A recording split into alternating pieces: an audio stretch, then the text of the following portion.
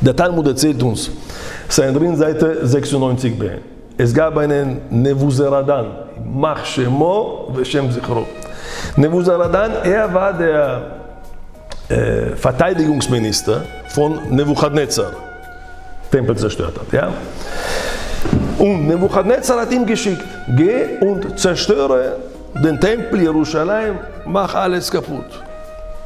Aber er sagt, ich weiß, der Gott von Am Israel, er, er mag es, wenn die Juden Tshuva machen. Und wenn sie Tshuva machen und beten, deswegen, da können wir nachher in Schwierigkeiten geraten. Deswegen, ich sage dir, lass es nicht zu, dass das jüdische Volk betet. Verhindere sie vom Beten aus. Und dann wirst du es erreichen. Er geht dorthin. Am Anfang er dachte sich, was ist das Jerusalem? Ich werde es tschick-tschack, alles finito la commedia. Er kommt dorthin mit 300 Kamele voll mit Werkzeugen, um die Mauer aufzubrechen. Er versucht und die ganze Zeit, das Werkzeug geht kaputt, aber die Mauer bleibt.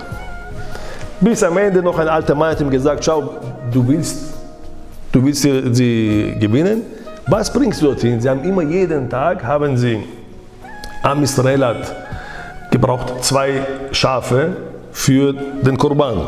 Wir haben einen Korban einmal in der Früh, einmal am Abend.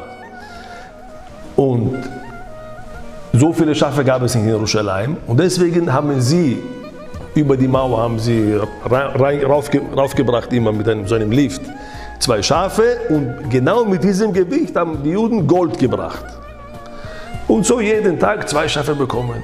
Sagt dieser alte Mann, ihr, du willst da reinkommen, du willst, solange ihr ihnen diese Schafe gibt, solange sie den, die Korbanot, die äh, Opfergabe darbringen, habt ihr keine Chance. Ah, so, okay. An dem Tag hat er aufgehört und keine Schafe gegeben. Statt zwei Schafe, was hat er gegeben? Zwei Schweine draufgegeben. Und zwei Schweine draufgegeben, mitten beim Raufziehen. Diese zwei, diese zwei Schweine haben ihre Pfoten auf die Mauer gegeben und ganz Eretz Israel, schreibt der Talmud, hat gebebt davor. Has Schweine, Kurz gesagt, gab es keine Opfergabe, das war auch am 17. Tammuz. Und es ist eine letzte Axt ist übrig geblieben, um die Mauern aufzubrechen. Letzte Axt. Okay, er versucht das letzte Versuch, wenn nicht, ich gehe, ich gehe zurück.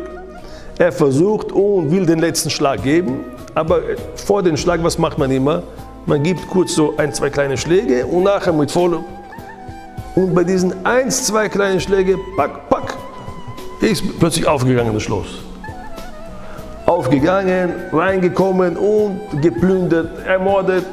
Und es war Flüsse von Blut ist geflossen in Jerusalem. Bis nachher, kommen wir gleich zur Sache, bis er nachher gekommen ist zum Bet HaMikdash. Dieser Nebuzaradan, Mach Shemo V'Shem Zichro. Kommt in Bet HaMikdash, zerstört, was er zerstören kann. Und er kommt nachher in einen Raum, Azara. Also in, in die Azara ist er gekommen. Und er sieht dort in diesem Raum es gibt auf dem Boden ein Blut, das blubbert, als ob es kocht. Plach, plach, plach, plach, plach. Er fragt, sagt, was ist dieses Blut?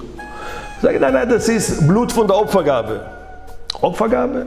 Du bringst zwei Schafe, ich will sehen, ob das dasselbe Blut ist, weil kochendes Blut kennt man nicht. Ja?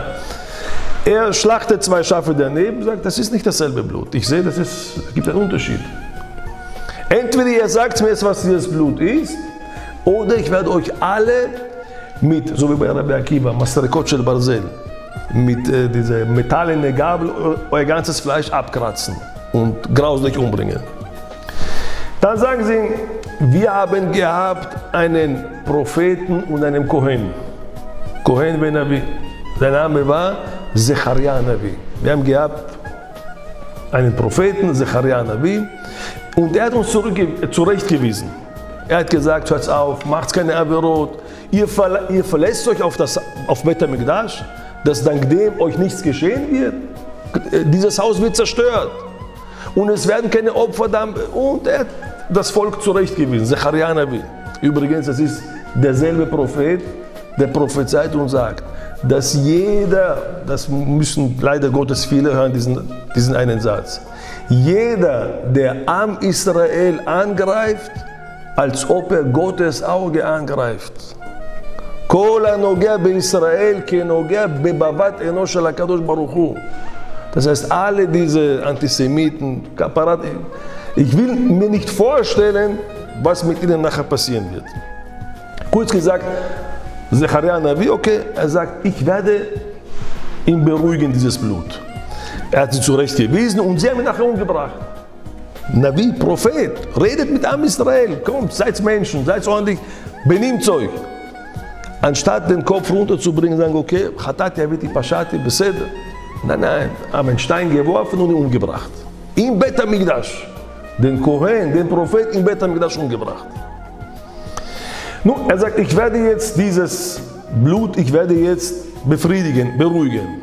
Er hat genommen Gelehrte, die dort waren, Rabbanan. Eins nach dem anderen auf dieses Blut geschlachtet, damit das Blut sich vermischt und so das Blut nachher sich beruhigt. Bam, bam, bam, bam, schlachtet eins nach dem anderen. Nix. Blubbert noch weiter. Er nimmt nachher Pirche Keuna, also die Koanim, die dort gedient haben, die jungen Koanim. Auch die, eins nach dem anderen. Pack, pack, pack, schlachtet. Alles bleibt.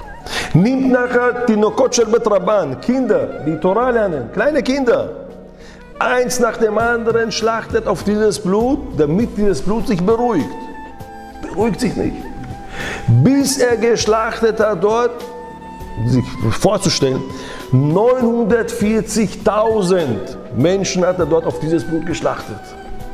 Er selber, so grausam er war, er hat es nicht mehr gefallen, sagt, Zechariah, Zechariah, die Guten von ihnen habe ich vernichtet. Soll ich alle vernichten? Und dann hat sich das Blut beruhigt.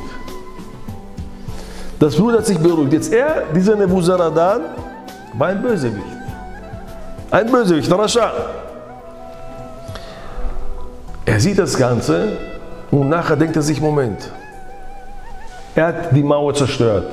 Drei Wochen lang Jerusalem geplündert, ermordet, plus nachher noch dort 940.000 Menschen abgeschlachtet. Es gab einen Felsen, wo auch ein paar hunderttausend Köpfe von kleinen Kindern er mit seiner Hand zerschmettert hat. Grausamer Typ. Er denkt sich, Moment, schau dir das an. Dieses Blut, so viel habe ich geschlachtet, bis dieses Blut sich beruhigt hat. Sie haben nur eine Person getötet, diesen Zechariah Navi, und schau, was mit ihm passiert. Ich, er denkt über sich, er hat so viele Menschen ermordet. Was wird mit ihm sein? Nachgedacht. Gior hat, hat er konventiert, Tshuva und wurde Gerzedek. Nebuzaradan, so ein Bösewicht, so ein grausamer Typ, so viele Menschen ermordet. Ein Augenblick in seinem Leben ein bisschen richtig nachgedacht. Einen Augenblick nachgedacht und dementsprechend gehandelt. Von einem, der, der in Gehenom verbrannt werden sollte, Ger Zedek, Gan Eden. Schau, wie wertvoll jeder Augenblick in unser Leben ist, aber den Augenblick richtig ausnutzen.